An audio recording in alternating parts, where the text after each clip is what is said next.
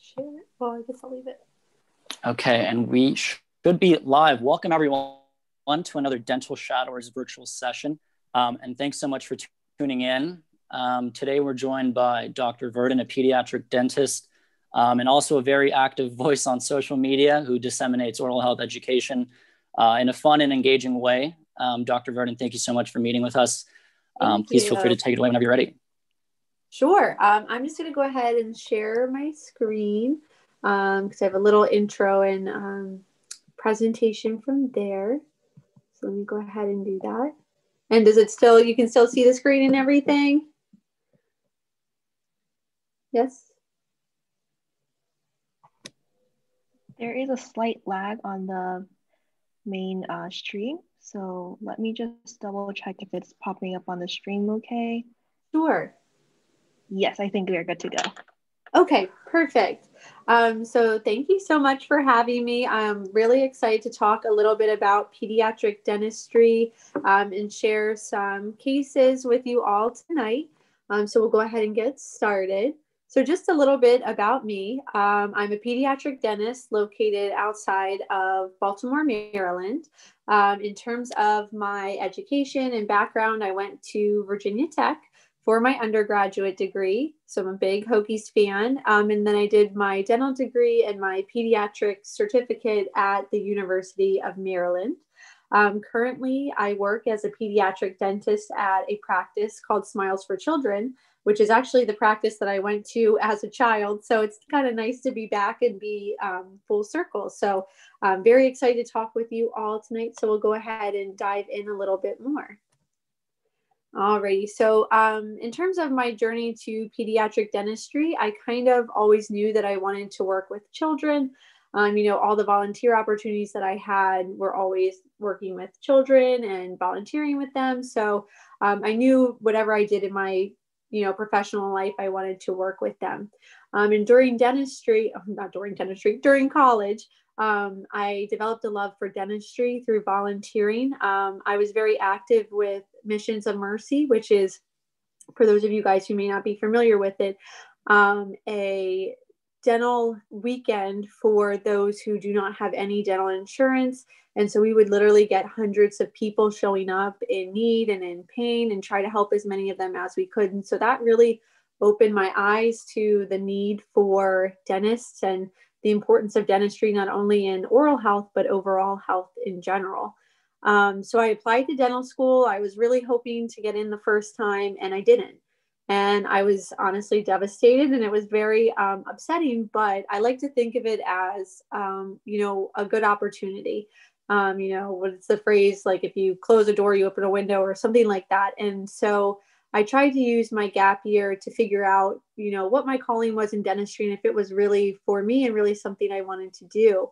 Um, during that gap year, I worked as a pediatric dental assistant at the practice that I actually work at now.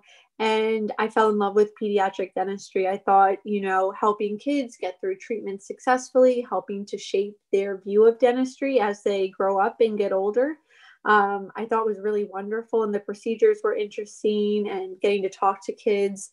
Um, you know, they're just so fun to talk to. You could be talking about unicorns with one child, and then another child's getting ready to go to college.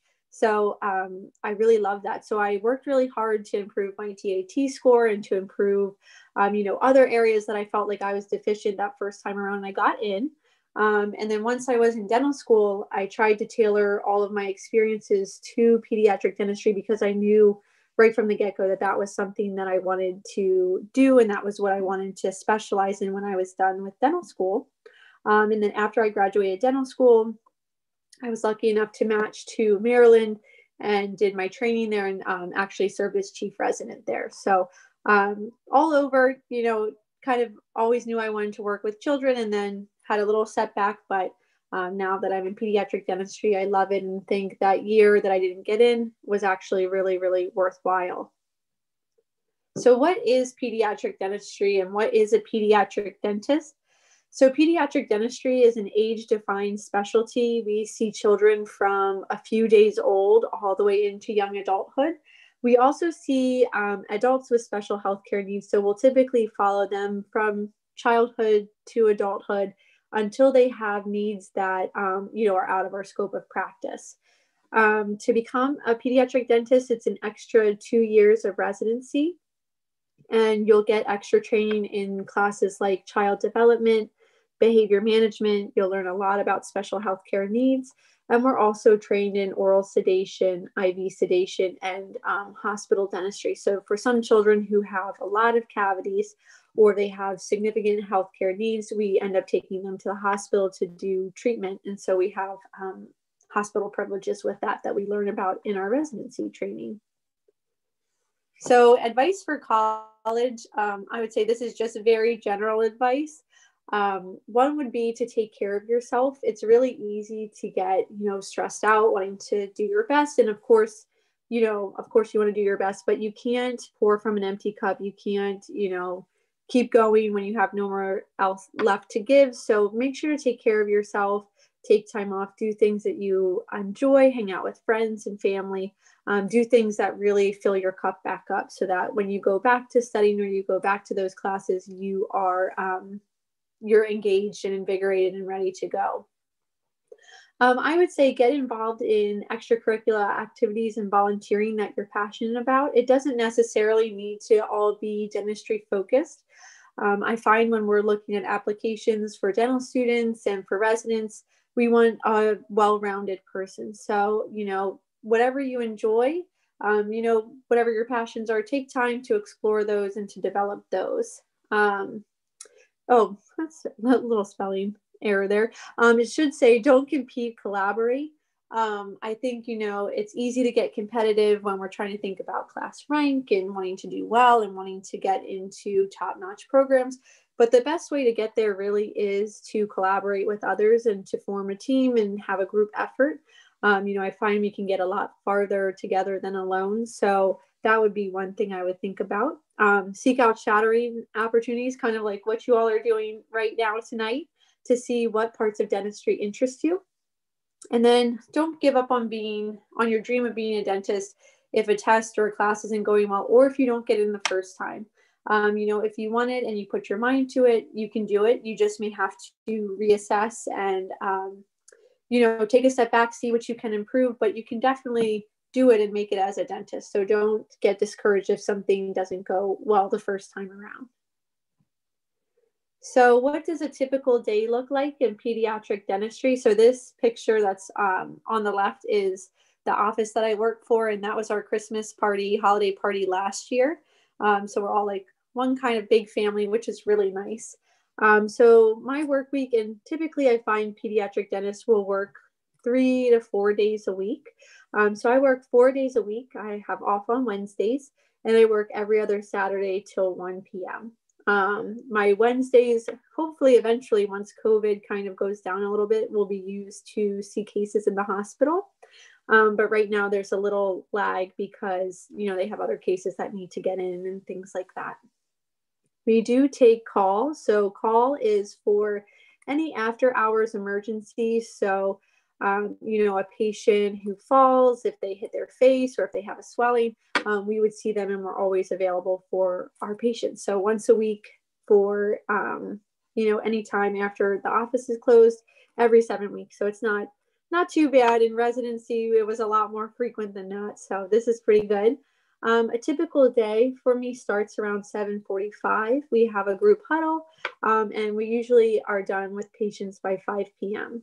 So we try to keep our fillings and tooth removals and sealants and everything in the morning because we find kids are a little bit more fresh in the morning. They're a little bit more well rested. Um, just, you know, in terms of behavior management, we're always thinking about what's best for children and how will they do best and be most successful. So we do fillings and things from 8 a.m. to 1 p.m. Um, and then we have exams and cleanings all day long from 8 to 5. And we typically see about I would say maybe 20 to 35 patients for myself per day.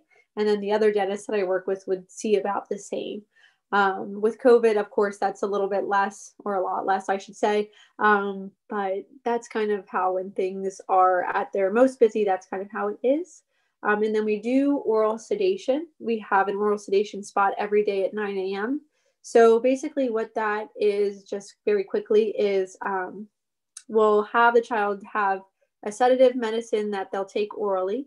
Takes about an hour for it to work, and then we monitor their heart, their breathing, everything um, for the hour that we're working until they go home. And that just enables us to help the child relax enough that we can do dentistry successfully and help them get through treatment successfully. So we don't do it on all children. We don't do it necessarily every single day, but um, if a child needs it, if we think it would be helpful for them, then we certainly um, explore that option, and have time in our schedule for it.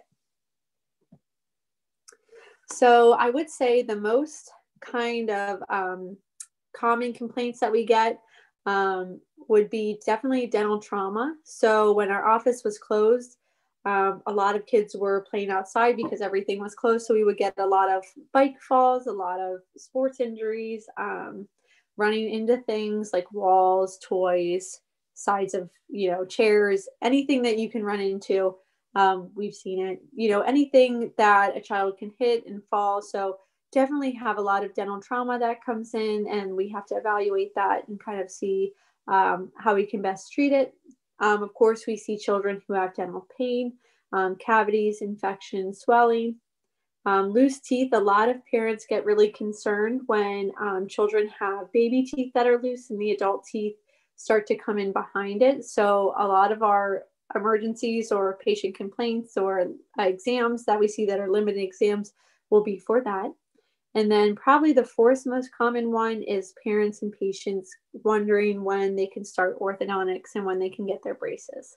So I would say those are the top um, top four areas of um, pediatric dental complaints that we get on a daily basis. In terms of what procedures uh, pediatric dentists perform, we basically do a lot of different kinds of procedures, um, you know, just depending. So in terms of restorative, we do regular white composite fillings. We place protective sealants on the teeth. Um, if the cavity is very large, we will place a stainless steel crown on the tooth. And they also have white crowns now, which are more aesthetic and more pretty looking. Um, we do a little bit of oral surgery. So we take out not only baby teeth, but um, adult teeth sometimes. Um, we will do excisions, like if we have, you know, a swelling or something, or um, something that's unusual on the gum tissue or on the lip tissue, we can excise it, take it off, and send it to the lab for a report. And we also do tongue and lip tie release. So a lot of times, this is when we'll see our very, very young patients, like a couple of days old, is if mom is having difficulty breastfeeding or um, difficulty with the baby latching or getting enough um, nutrients, then we may release a tongue tie there. The other time that we may release lip and tongue ties if we're having if patients having problems with speech and they've been evaluated by a speech therapist or after a patient's had braces and they're a little bit older and um, they are still having a thick tissue in between their two front teeth we may release that frenum then too in terms of orthodontics um, some pediatric dentists have invisalign training um, so they're able to do that um, but the biggest thing that pediatric dentists do is make what's called space maintainers um, which help to hold the space for adult teeth if a baby tooth is lost early. And then we also do some pharmaco- pharmacologic behavior management, and that would be the oral sedation. So, taking sedative medicine by mouth, IV sedation, or general anesthesia. And of course, with IV sedation and general anesthesia, we would probably work with a um, nurse anesthetist or a dental anesthesiologist or the hospital anesthesiologist for those two. But the oral sedation we can give ourselves as pediatric dentists once we have our um, certification.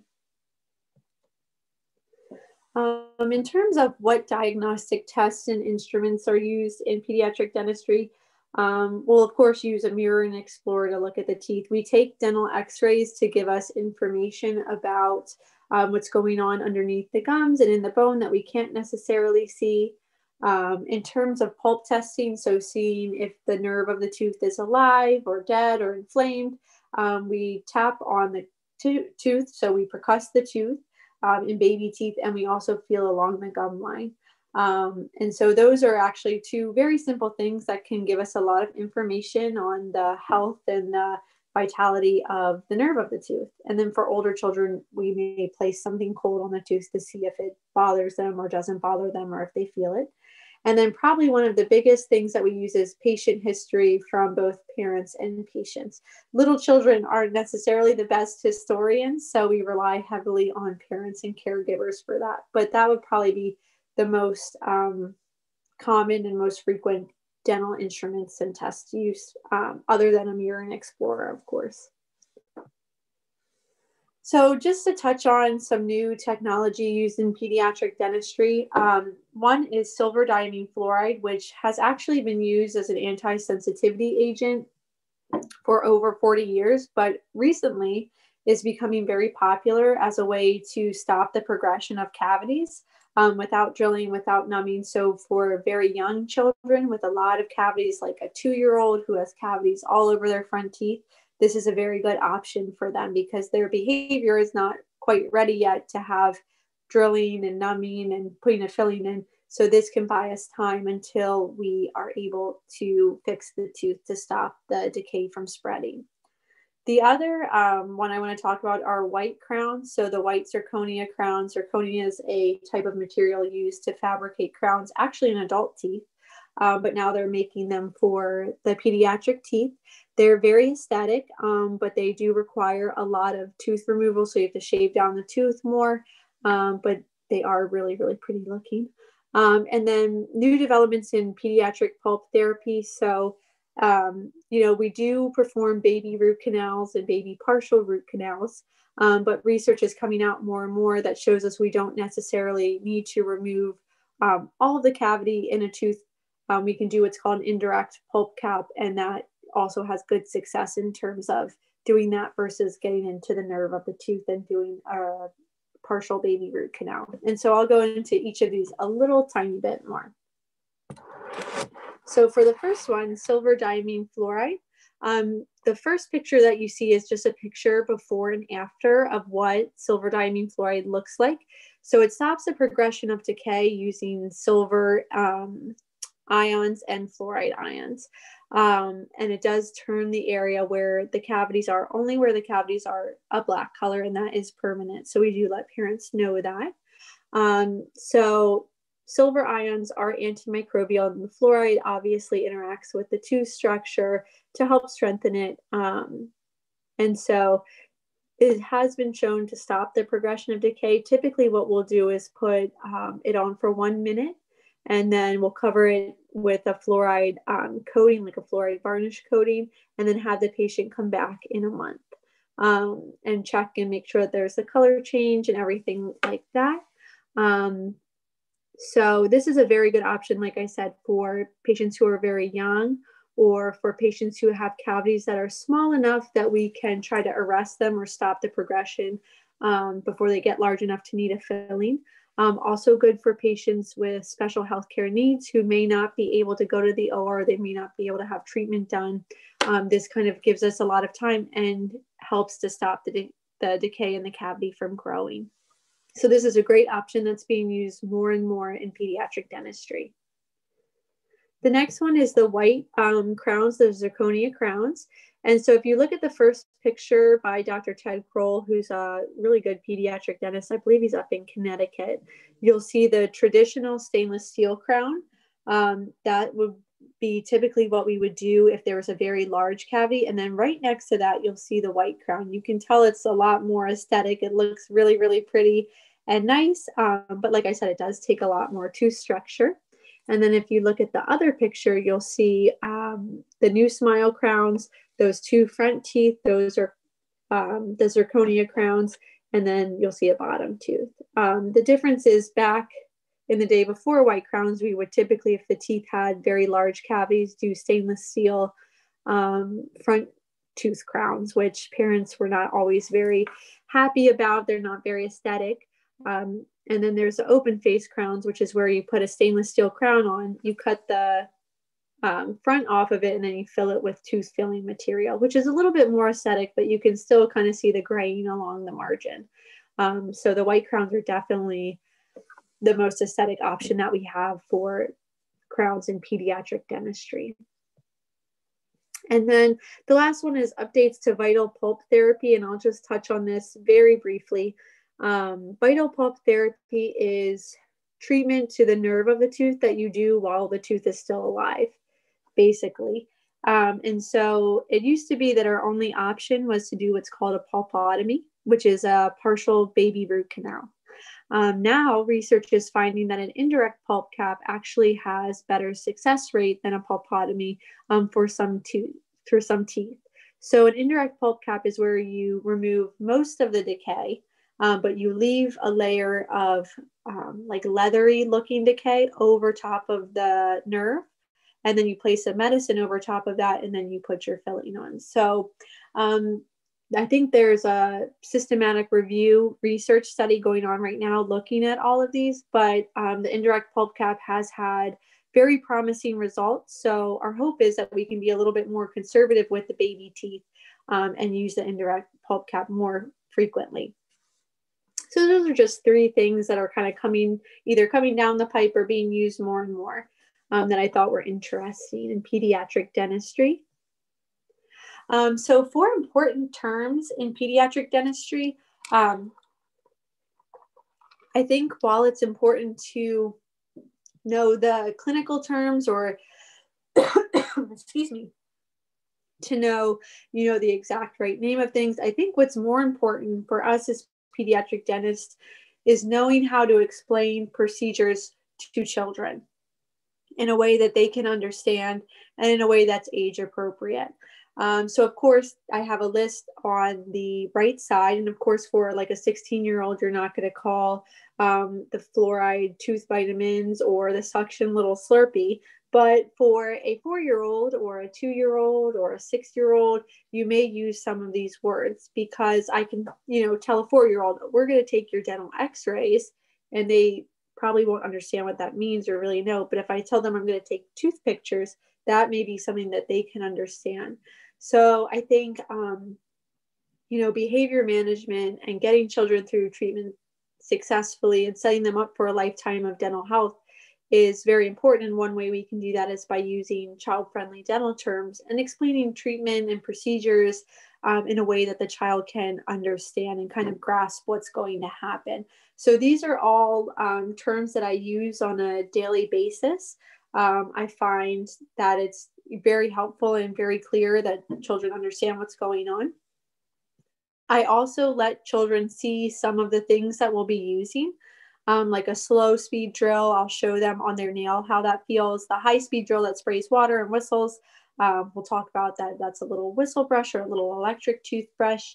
Um, and those kinds of things just help children better understand and feel more comfortable with what's going on so they're not as scared or as afraid of the unknown. So those are, I would say, very important terms in pediatric dentistry.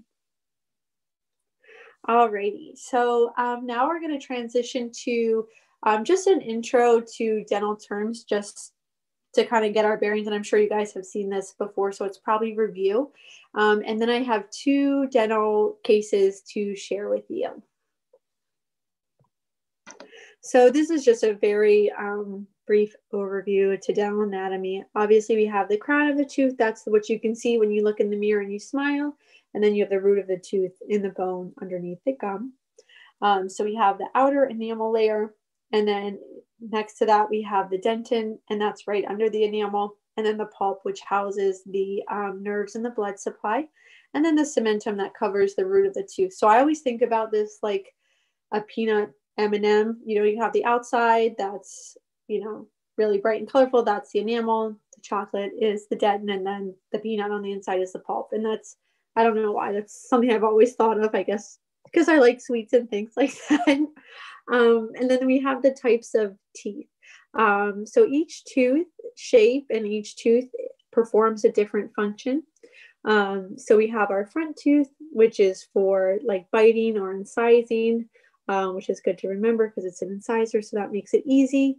We have our canine, similar function to incisors. And that's, you know, the canines are the cornerstone of the arch. They have very long roots and they kind of set the smile profile and everything like that. We have the premolars, um, which tear and grind food. Um, interestingly, in the primary or baby tooth dentition, there are no premolars. There are only incisors, canines, and molars. And then we have our back molars, and those um, obviously grind and help us chew our food. Alrighty, so these are the primary and the permanent teeth. Um, and this is just to kind of give you an idea of when the teeth start coming in. So baby teeth typically start coming in around six months, sometimes earlier, sometimes later. Um, I recently had a 13 month old that just got their first tooth. So it's all in a bell curve of normal. Typically, um, boys get teeth later than girls. Girls are usually earlier. So just some things to think about. And then we typically start getting our adult teeth around age six with the eruption of the six year molars. Um, and so as you can see, the primary versus the permanent, there aren't any premolars in the primary teeth. Alrighty, and so this is just a quick introduction to dental pathology. There's way, way more things that I could go over than this, but these are just some um, interesting images I just wanted to share with you. Um, so we can have extra teeth called supernumerary teeth or hyper, hyperdontia. Um, there's some conditions that can have um, supernumerary teeth, like Gardner syndrome, cleft lip and palate can, um, cleidocranial dysplasia can. Um, there's teeth, uh, missing teeth. So if you look at image two, hypodontia, this patient has um, their baby molar still, but they don't have any premolars, so they're missing some teeth. Some conditions that can be related with that are also cleft lip and palate, and also um, ectodermal dysplasia. Um, you can have larger than normal tooth size. So that's image three, that's macrodontia. That front tooth is larger than the tooth next to it. So we would call that a macrodontia tooth. And then you can have teeth that are smaller than normal size. So microdontia. So if you see that little peg shaped tooth, that's what we call a peg lateral. And so that's an example of microdontia. Alrighty. Um, and then we have different types of dental x-rays. So in the cases, you'll see different types of images. So I just want to go over what those were called here. And again, um, this may be review for you guys, but just wanted to have it in here. Um, so we have bite wings. So image one is a bite wing x-ray and it's used to look for cavities, bone height, and calculus. So you can see this patient does have some cavities, um, which they hopefully will get restored. And um, so these are really good images straight on of the molars, um, premolars, and should be the canine, but we don't have that in that image. Um, periapical x-rays show the crown and root of between one to three teeth. So that's image two. Um, you can see that's the molars and you can see all the way down to the end of the root there. Um, we have maxillary or mandibular occlusals. So that's image three. And in those pictures, we use this a ton in pediatric dentistry for trauma. Um, we're always looking at if a baby tooth gets um, knocked or bumped or hit, where is that root in relation to the adult tooth? Um, because when we have an impact to the baby teeth, that can cause the root to go towards the adult tooth, which can cause problems to the adult tooth um, at the time of impact. Um, so that's what that image is. Um, and then we have a Panorex, and that shows all of the teeth at one time. Um, and it shows the sinuses, the nose, the condyles of the jaw. Um, and so we use this to determine growth and development, to do timing for orthodontics, to look for extra teeth. Um, if we have, if we suspect a jaw fracture. So we use these um, for lots of different purposes. Alrighty, so um, we're going to go into case one. Um, and so we'll talk about that. And then I guess if anybody wants to answer the questions, you can. If not, you don't have to. I just have them in here um, in case anybody wants to discuss. That's totally fine. Um, so a little bit of background about this patient. Um, they're a seven year old male, and they came to the dental clinic with a chief complaint um, that they felt something was bothering their tongue behind their front tooth. Like their tongue was getting very um, curious about what was going on behind the front tooth, and it felt kind of funny back there. Um, talked about the patient's history with their caregiver. No um, significant medical history. They're overall a healthy child with no allergies, and they're not taking any medications. Um, and so I guess you guys can just think about what um, questions that you would ask to get to know the patient more. You don't necessarily have to answer unless you want to, but start thinking about that. And then we'll go into the dental exam. So you complete an extra oral exam. So you're looking at the outside structures outside of the mouth on the um, head and neck, and you don't see anything significant. There's no swellings, no lacerations, um, nothing like that. Um, and then you complete an intraoral exam. So looking at structures inside of the mouth. Um, and you see that the patient is in mixed dentition. So they have some primary teeth or baby teeth and some permanent or adult teeth um, which is very normal for seven years old. Um, you don't notice anything like a swelling or any large cavities um, or anything like that, or any lacerations on the gums um, on the lower arch. So, this is a picture of the upper arch. On the lower arch, you don't see anything unusual. Um, but then you start to look at the maxillary arch or the upper arch, and you see something behind one of the front teeth. And it looks very similar in color and hardness and texture to the teeth. So um, you may be thinking you want to take an image of that tooth, and so you decide to.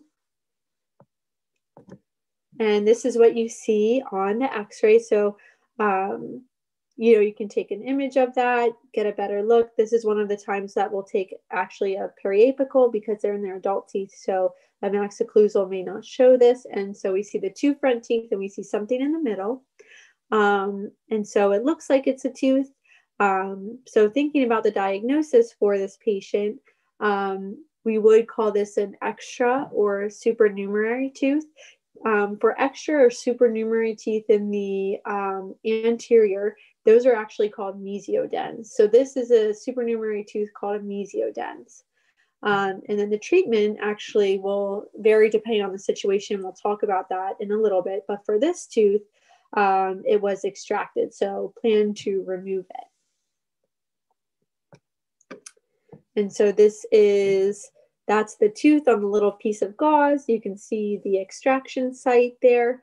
Um, and then the post-op x-ray where the extra tooth is no longer present. Um, and so this is an example where we can see the mesiodens. We can easily grab it with our oral surgery forceps and take it out. Um, so this is an example of oral surgery that pediatric dentists do. Um, so just a little bit of information about mesiodens, and here are some extra pictures of some more mesiodens, just so you can see how they show up clinically. They may look a little different and how they can show up on the x-rays. Um, and if you see E and F are the two baby front teeth, eight and nine are the adult front teeth, and that S is supernumerary.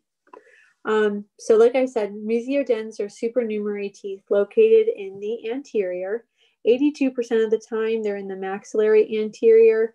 Um, every time that I've seen them, always in the maxillary anterior. I haven't seen any yet that are in the bottom in the mandibular anterior. 25% of mesiodens erupt spontaneously, so they come into their mouth on their own, just like any other tooth. Um, and their most common shape is peg shape or conical shape, which is how the one that was extracted was shaped, and how basically all of these ones that you see are shaped. They're all the conical shape. Um, and then if you look at the Panorex picture, so that top picture where it has the A, you can see the mesiodens kind of hiding out between the roots of the adult teeth that are supposed to be there. And we'll talk about what we would do in that case in a little bit. So the reason that we care about mesiodens and want to figure out how we need to treat the mesiodens is because they can cause a lot of complications if you know they're in the way. Um, so one of the things that can happen is they can delay the eruption of the permanent teeth. So they can block the entrance of those teeth that we need to come in. The other one is they can cause crowding. Um, they can impact the teeth. So if they're slanted, just like this picture, the adult tooth then is blocked out and can't come in. So that's called impaction. Um, they can cause altered path of eruption. So you can have an adult tooth come in in a totally different spot than what you want because that supernumerary tooth is in the way. Um, they can form cyst or cyst can form around the supernumerary tooth. and it can um, resorb the surrounding teeth, the surrounding tooth roots. So, kind of like erasing those adult teeth roots down. So, we definitely want to keep track of any mesiodens and treat them if they need to be treated. Um, and so mesiodens can be found on clinical exam if they're one of the 25% that come in on their own, or on radiographic exam on a Panorex, a maxocclusal, periapical, or 3D imaging. Um, so with mesiodens, you can either extract or monitor, and that totally depends on the situation. Um, so you want to consider extraction if the mesiodens is in the way and it's preventing an adult tooth from coming in. If it's moving other teeth in the area around, if there's a cyst that forms, or if it's causing resorption, or if it's coming in on its own and you can see it and grab it and take it out. Um, so that's what was done in the first case. We were able to see it, grab it, take it out. Um, you want to consider monitoring if there's no pathology present if the adult teeth erupt with no problems and they're all in alignment exactly where they should be, um, if there's no risk of damage to surrounding teeth, um, or if they're symptomless. So sometimes we'll find these extra mesiodens on a random x ray that we take and we never knew that they were there. And they're there and they're fine and they're not in the way. And so we just leave them. We tell the patient, we inform the patient, and then we just monitor it. And if it becomes a problem, we have it removed. But usually, those ones that you find randomly on an x ray usually don't cause problems. So, that was the first case. I thought that was kind of interesting. Um, I think supernumerary teeth and oral pathology in general is very interesting. So, just wanted to share that with you. Um, and then we'll go into our second case. And so, um, we have another patient introduction. So, you're on call and it's 8 p.m., and you get an call on the after hours emergency line, which often happens. Um, the mother on the end is very frantic and she's very upset. And she says, Help, my child fell and knocked out his tooth. I can't find the tooth anywhere. So, you on the phone get some important patient information. You find out that they're a 15 month old male. Um, they were playing with a rocking horse and fell into the rocking horse, bumping their teeth on it. Um, the parent noticed bleeding from the maxillary arch and the upper lips. So around the gum on the um, where the teeth were and on the lip. Um, you ask if there's any loss of consciousness um, or any signs of a concussion. Um, and there's no loss of consciousness, no vision changes, or no nausea. And you look in your chart and then you go through medical history, and this patient is a healthy child. Um, so want you to start thinking about what um, other questions would you want to ask mom to just gather more information about um, what happened and about the patient and anything like that. So, um, you know, start thinking what kinds of questions and things do you have for mom. Alrighty. So then we go to the clinical exam. Um, and this is what you see when you look at the um, patient. Obviously, we wiped all the blood off. You know, they're all cleaned up now. Um, they're in your office. You came in at 8 p.m. Um, so you find an upper lip laceration, um, missing front tooth E. So you don't see their upper right front tooth. And the gums look very red, swollen, and they're bleeding. They're kind of oozing um, which in this picture you did a good job wiping them off with gauze before you took the picture. Um, and the other uh, front teeth in the area look kind of loose. Um, so this is what you see. And then what might you want to do next? So you can think about that for a minute, what you might want to do. And you decide to take an x-ray. Um, so this would be a max occlusal. It's a little bit blown up so you can't see um, the whole thing, but you can see the important area. So you have mom sit with the patient. So she helps to hold the patient. They both get lead aprons and then you take a max occlusal.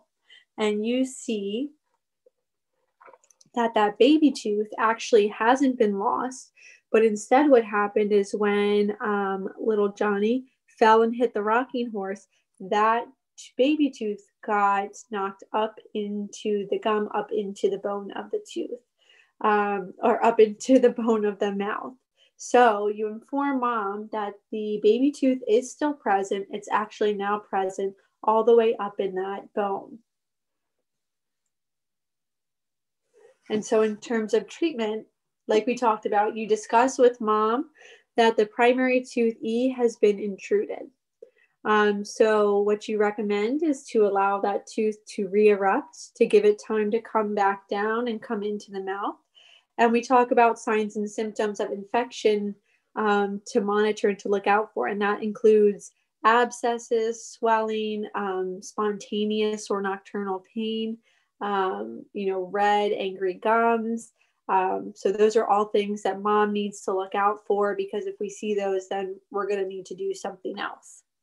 Um, we also tell mom that it's important for us to see that patient frequently to evaluate that that front tooth is coming down.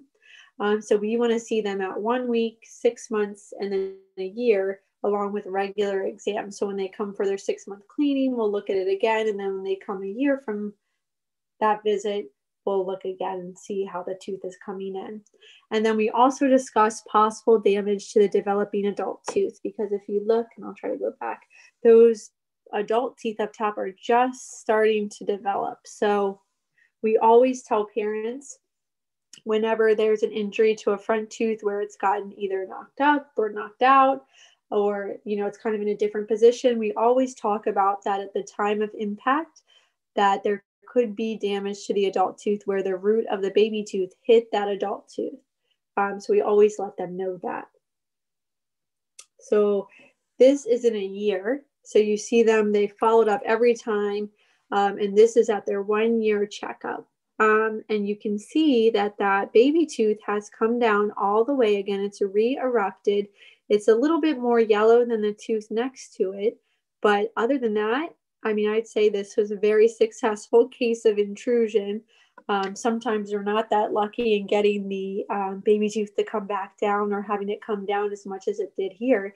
But you can see after a year, that baby tooth has come down and it's back in the mouth.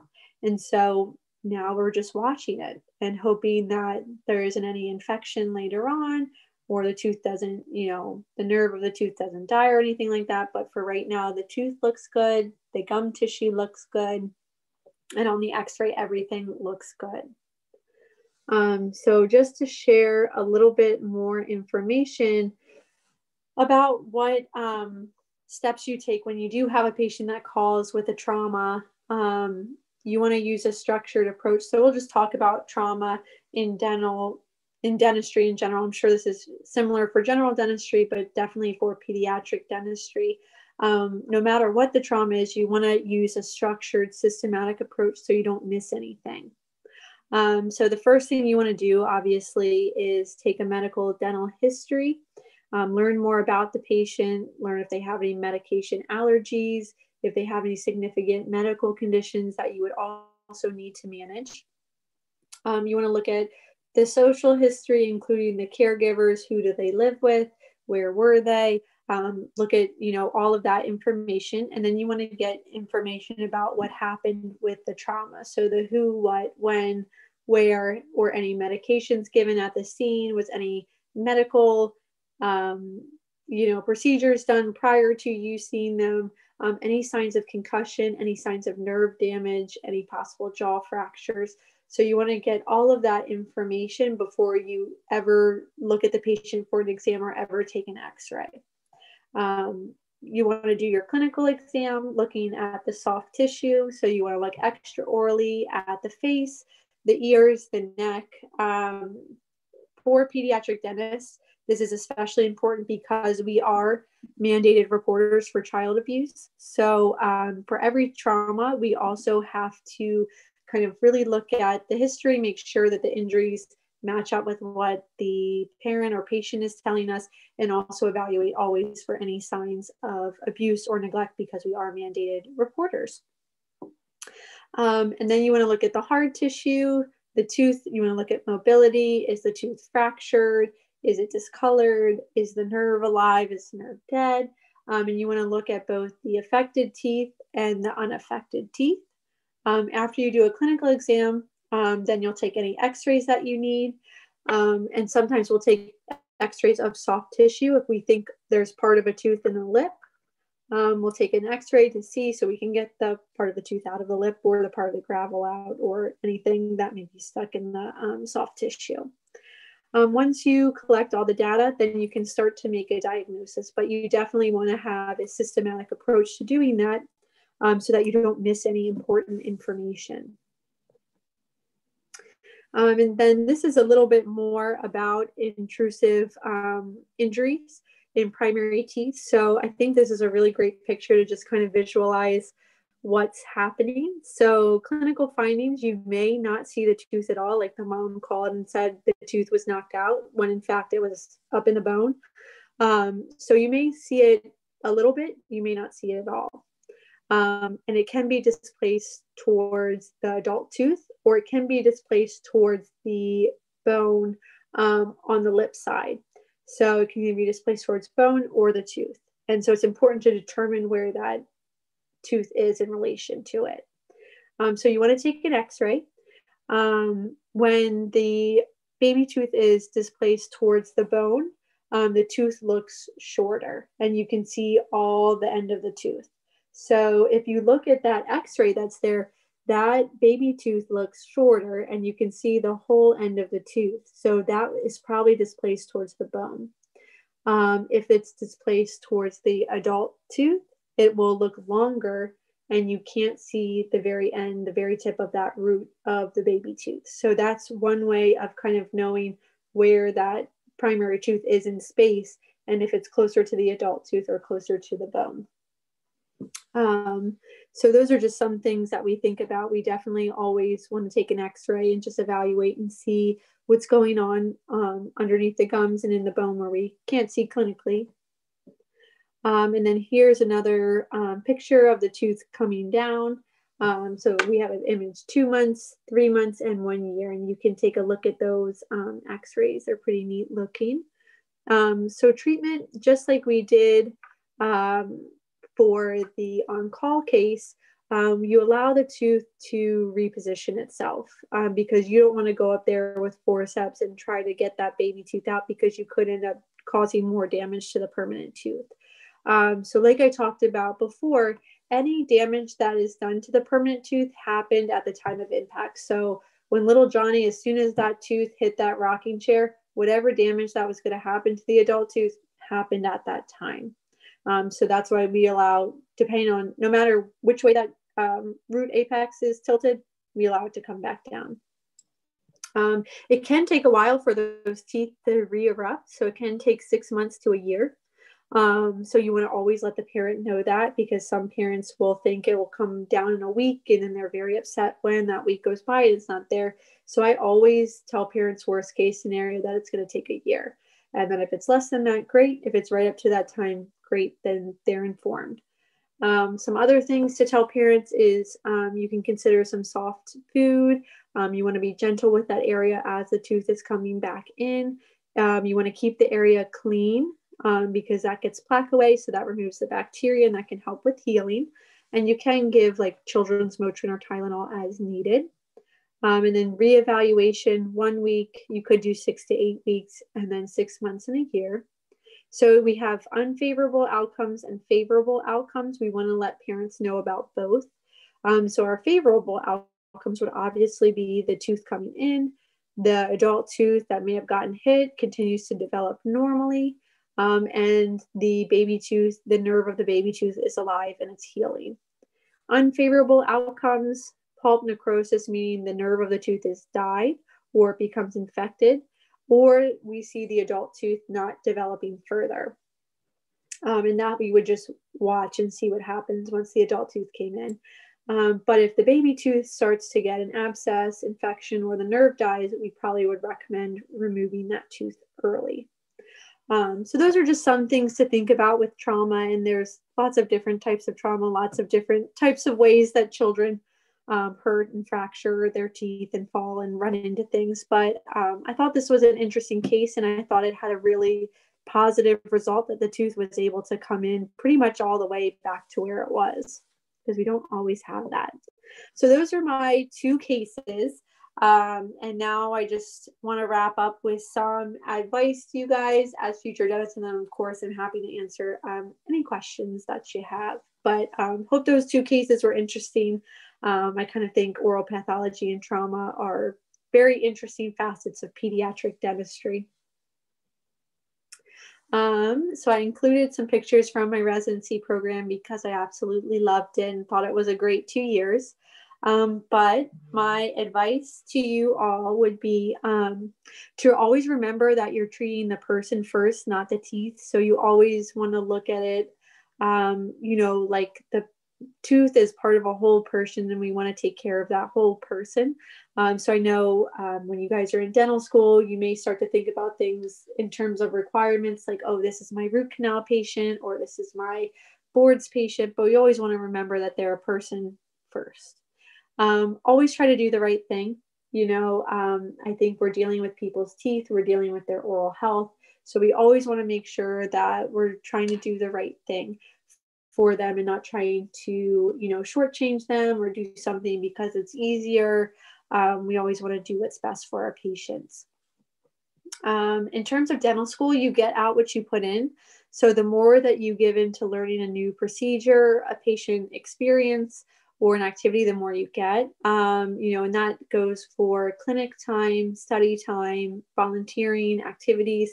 Um, the more that you are willing to kind of be active in those things, I find the more that you'll get out of it, the more that you'll learn and grow.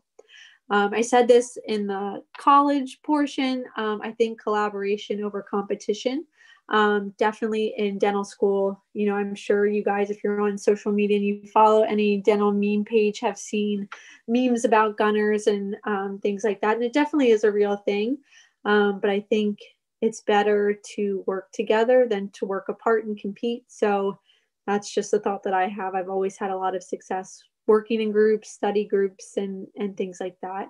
Um, definitely for dental school, it can be a little bit like drink trying to drink out of a fire hydrant at first with all the information. So again, same as the advice in college, just want to take care of yourself and um, you know really take care of your needs and things like that, and your health and mental health um, and relaxation because those are very important. And then finally, believe in yourself. Um, dental school is really hard. Um, but you know, you have to believe that you can do it. Everybody gets through it. Um, so even though it may be very challenging at times, you can do it. Um, you just got to believe in yourself and give yourself a little bit more credit than you think you deserve.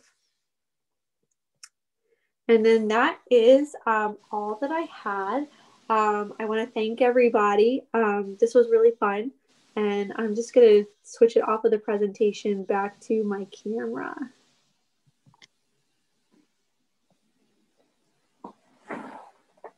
That was amazing. Thank you so much, Dr. Virden. We actually recently shared um, an informational post um, on our page about dental anomalies, which included supernumerary teeth. So it was sort of Yay. great to see um, case one in practice clinically. Nice. But um, at this point, I'll turn it over to our chat moderator, Yoon, and we can address a few questions from the chat before we conclude.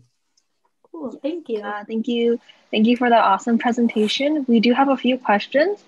Um, so I guess we can start off with, can you talk more about your experience as a dental assistant, such as if you would recommend it or if you need any certification to work as a pediatric dental assistant? Sure. So um, I think I've seen it both ways. So I would definitely recommend it. It is a way to get right up close and personal to those procedures because I know when you're shadowing, you're kind of like back behind the dentist and the assistant. But if you're actually doing the assisting, you can kind of see everything that's happening. So I would recommend if you have the opportunity to. I know things are different with COVID, um, but I did not get any certifications for it. I kind of just talked to my childhood dentist and said, Hi, I didn't get into dental school. I'm so sad. Help me. And let me do this opportunity. And it was amazing. So I would say it never hurts to ask. The worst that can happen is they tell you no. Um, and so I think if you want to definitely ask. I know some practices have asked the um, like people who are doing a gap year to either get x-ray certified or to take a limited dental assisting class. So I would just see, I did not. Um, but I don't, I can't speak for every dental practice, but I would recommend it. Um, another question that we have is Do you treat children before they have teeth? Um, hmm. I don't think I ever have. There are some conditions. There's these things called gingival cysts of the newborn, um, which are like these little bumps on the ridges of the teeth. And so um, in residency, we got a on call for that. They had bumps on their gum. Um, but typically no, but sometimes with like weird things like that that'll pop up, um, we will. But usually um, we may see kids before they have teeth in terms of tongue tie or lip tie. Um, so if a baby's having difficulty breastfeeding, then they'll come to the office and we would do a lip tie or tongue tie release and then go from there. Um, the only other time I would say we saw like a three or four day old is sometimes babies are born with teeth, um, like one tooth right here. And if it's very loose and like flapping in the wind or it could be an aspiration risk, then we'll take that out. But that's very rare. So I would say not really often um, and only for specific things. That's really interesting. I didn't know that babies could be born with a teeth. Um, so, do you work with orthodontists if children have braces? Yes. So, um, a lot of times pediatric dentists will have an orthodontist in their office, or a lot of pediatric dentists have orthodontists as part of their office. Our office, we share office space with an orthodontic practice. So we're two separate businesses, but we share the space. So it's really nice because a lot of our patients will go there and then we can chat with the orthodontist back and forth. But yes, I would say pediatric dentists and orthodontists are like BFFs in the dental world. um, so other than the dental terms that you showed us, like when you talk to children, how what other ways do you explain dental procedures to them? Um, so I'm a fan of uh, in pediatric dentistry, we have these guidelines, which are really great, and they're free to look at at any time if you ever go to the American Academy of Pediatric Dentistry. Um, and so one of them is called Tell Show Do. So I use that pretty much every day, all day long, where I'll tell a child what we're going to do, I'll show them, and then we'll do it. And so I find that that's helpful. Um, you know, explaining procedures or distracting children. Like yesterday, I had a patient who loved Elsa. So we found little snowflakes and characters in her little cavity that I was cleaning out. And so things like that, distraction, tell, show, do, um, are helpful communication behavior management. We also do a pharmacological behavior management. So we'll use like laughing gas. Um, we use that a lot. We'll use oral sedation. Um, so I think the biggest thing is looking at each child as an individual and finding out what would work best for them and kind of tailoring all those tools in the toolbox for them. Um, so there's lots of little tricks and things that we do. That's awesome. Um, I think that kind of answers the next question, which is how would you handle children that have anxiety? Um, unless sure. you want to add anything more to that. Um, I would say it's important to find out like where their anxiety or what it is that they're anxious of. A lot of kids I find are anxious of the unknown, so they just don't know what to expect. So I usually before we even lay them back, I'll show them pretty much everything. Like I'm not going to show them the needle and anything like that, um, but I'll show them as much as is appropriate, just to kind of take the fear of the way they can see it, they can look at it. Um, but if they've had a negative experience before, those are kind of very hard to overcome. Um, so for those, we may use laughing gas or oral sedation just to kind of take the edge off um, and help them get through treatment successfully. Um, is it common for pediatric dentists to have call hours? Um, I kind of feel like for the most part, yes. I know there are some offices that don't, but I think um, I don't mind being on call. It's honestly, I feel like a good thing, especially during COVID. We were on call like one day of the week every week, um, just to give parents peace of mind. A lot of times you won't have to go in. Um, you know, parents will send a picture, they'll text. Um, and just to reassure your parents and your patients, um, I think is a nice service to provide. But definitely in residency, you will definitely be on call and you'll definitely get called for all kinds of crazy things. Um, but in real life, in practice, going in is far and few between, I would say. but now that I've said that, I'm sure I'm going to get a call. um, so I think that's all the time we have for questions. Yeah. Um, yes. Well, nonetheless, uh, unfortunately, that is all the time we we have. Um, thank you again, uh, Dr. Virden, for for sharing some of your professional insight with us. That was sure. uh, engaging and enriching and informa- informational.